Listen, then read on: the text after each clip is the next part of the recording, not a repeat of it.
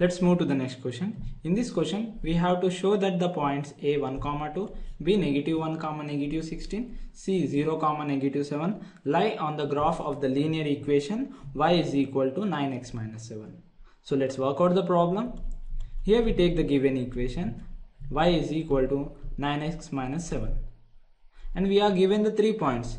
First of all, we take x a 1 comma 2 to show that A lies on this linear equation, we have to take the x coordinate and find its corresponding y coordinate.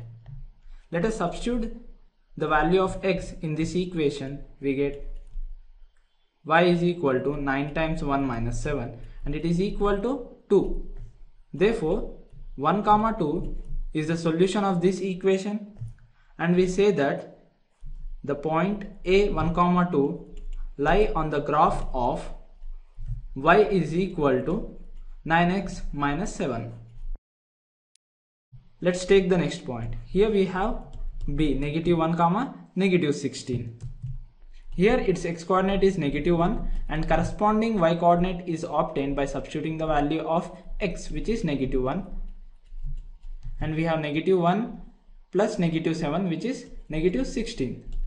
Therefore, we can say that negative 1 comma negative 16 is the solution and it lies on the graph of linear equation y is equal to 9x minus 7.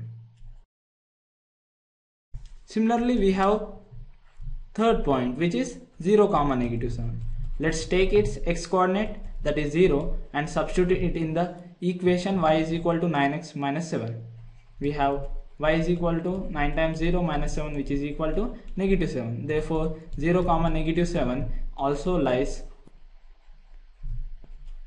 Therefore 0 comma negative 7 lies on the graph of y is equal to 9x minus 7 from these three statements we can say that a b c are the three points which lie on the graph of the linear equation y is equal to 9x minus 7 and this completes our solution